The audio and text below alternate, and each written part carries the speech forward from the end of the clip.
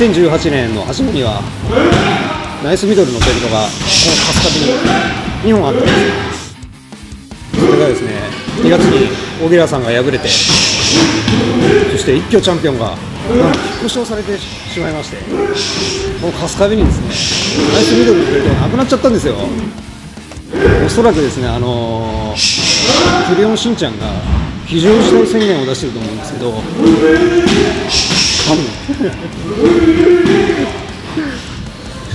普段仕事では、えー、精密機械の部品加工、まあ、金属を削る仕事をしてるんですけど、えー、11月4日はチャンピオンを削って削って削りまくって最終的には倒します。よろしくお願いします。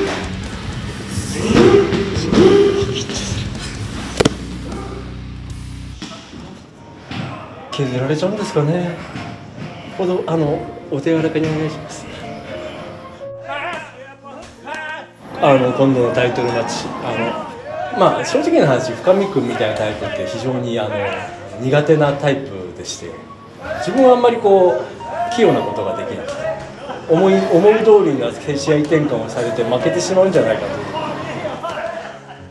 春に深見君にあの試合しようという話をした時に負けるだろうなというふうな思いで一応こう話をさせていただいて。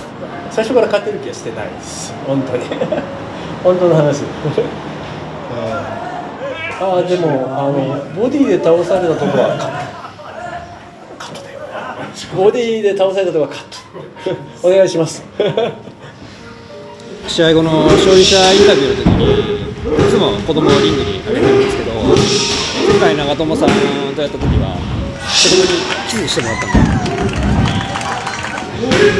11月4日ベルトを取った暁には妻をリングに上げて妻のね熱い熱い愛をもらいたいと思います、まあ、深見君はあの奥さんも綺麗だし可愛い娘さんもいるし。それに比べて俺なんかは独身だし。可愛い子になんかモテたこともないし。頭もハゲてきてるし白髪も増えてきて。挙句の果てにマンション買って浮かれちゃってもう。本当に深見君には勝てる気がしないですね。もう全く。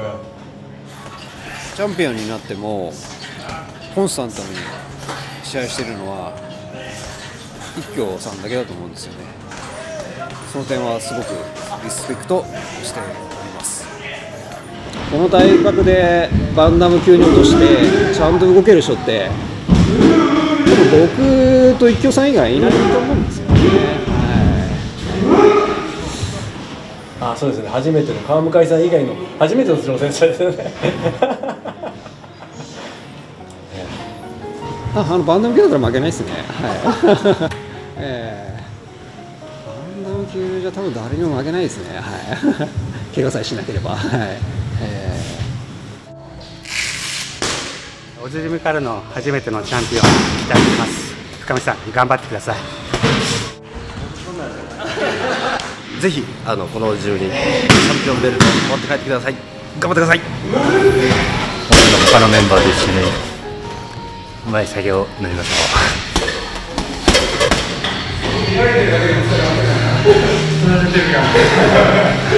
いやでもあのねかかなりこう聞くと気合も入ってるようだしあの体のつきもかなり変わってるんであのいい試合にはなるかなと思いますまあいい試合にしなければいけないですかね僕は頑張って。上君頑張ってね。死ぬほど練習してるんで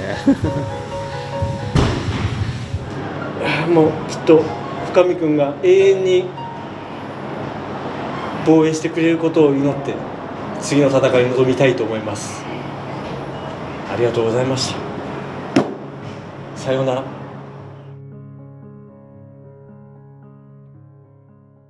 倒れたとこ使ってください3回使ってください。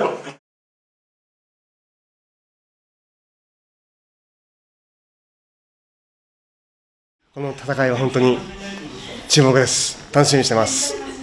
頑張ってください。応援してます。ありがとうございます。